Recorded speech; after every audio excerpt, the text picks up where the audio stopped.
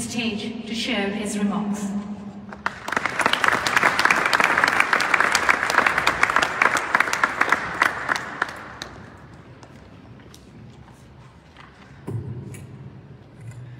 Thank you, Roshika and John, for expertly guiding us through the proceedings tonight.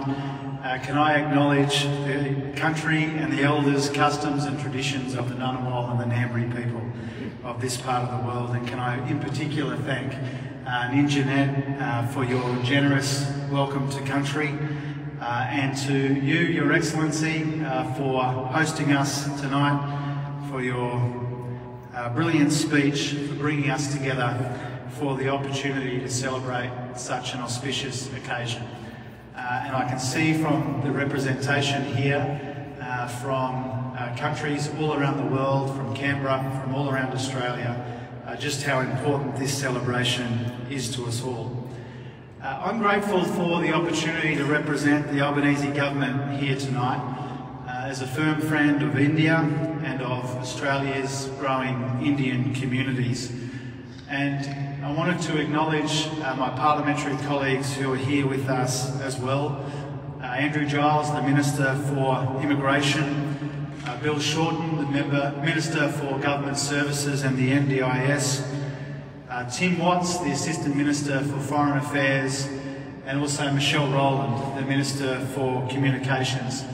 And can I also acknowledge, given we're in his uh, territory as well, uh, Senator David Pocock, uh, who's joined us here. All of the members that I've mentioned and others who are here tonight as well. Really firm friends of the Indian people, for Indian Australians, Australians of Indian origin. Uh, powerful, prominent and persistent voices uh, for this community across our country.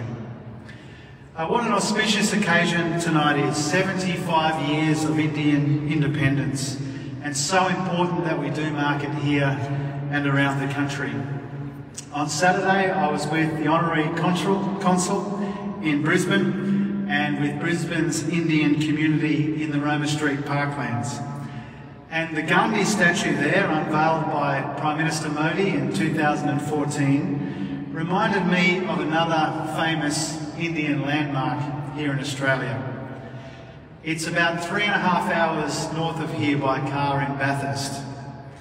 Now, Bathurst might seem an unlikely location for a statue of India's first Prime Minister. But if you're in town and you wander through the Peace Garden, at the edge of the park you will find it, the bust of Pandit Nehruji. A gift from the Indian people, signifying and celebrating the unlikely and unprecedented friendship between one of their independence heroes, Nehru, and Bathurst's own hometown hero, Prime Minister and Treasurer Ben Chifley. And that statue reminds us that on the 13th of June 1951, at the Hotel Kurrajong, just across the lake from here, Ben Chifley gave an interview to a visiting journalist from India.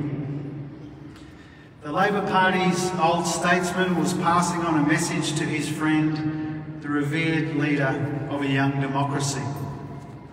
And he said this, Tell Nehru not to lose heart but to carry on. India will still show the way to peace. Now those were actually the final words of Ben Chifley's final interview. He died later that evening. But from that unlikely friendship has sprung decades of goodwill and good fortune between our two nations goodwill and good fortune that we toast tonight as India marks 75 years of independence. And as we know, India is the world's largest democracy. It's a beacon of progress and innovation. It's a nation turning extraordinary economic growth into social advancement for its people. Australia's relationship with India is one of dosti, friendship, we saw that friendship on display when Prime Minister Albanese was embraced by Prime Minister Modi at the Quad meeting in Tokyo, literally a few hours after being sworn in here. And through that comprehensive strategic partnership that His Excellency mentioned and our economic cooperation and trade agreement, our ties will only grow stronger. And the Foreign Minister and the Assistant Foreign Minister has done that again today, announcing nine new grants from the Australia-India Council to deepen collaboration between our countries. We look forward to welcoming Prime Minister Modi here for the Quad meeting next year. And we look forward to visiting India for the G20 finance ministers and other meetings next year when you host that important group.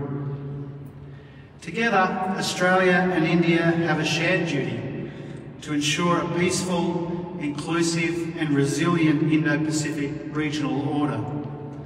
A region where the rights of all states are equally respected, regardless of mass or might.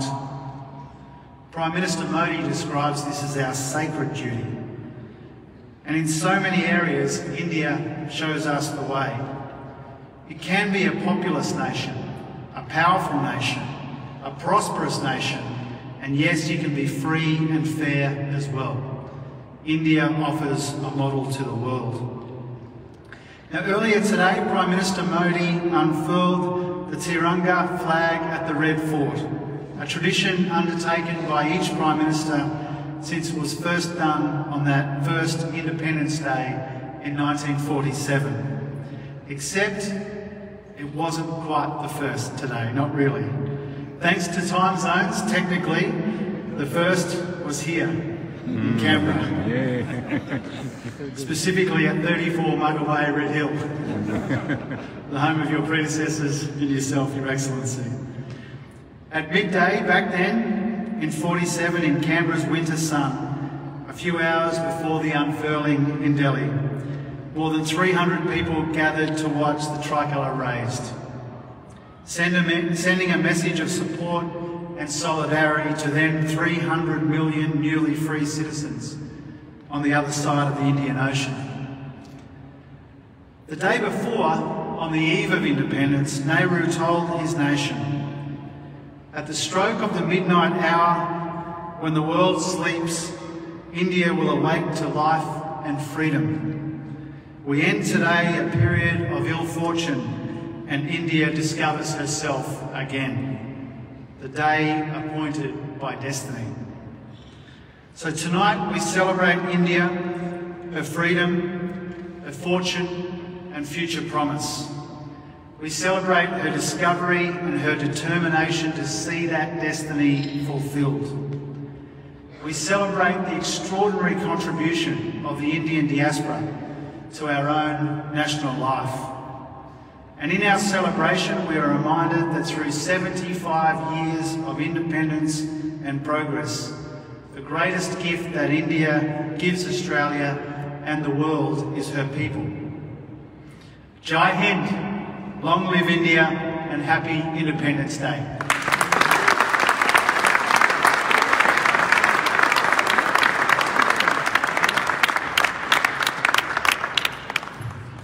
Treasurer. We are very pleased you could be with us tonight to help us celebrate India at 75.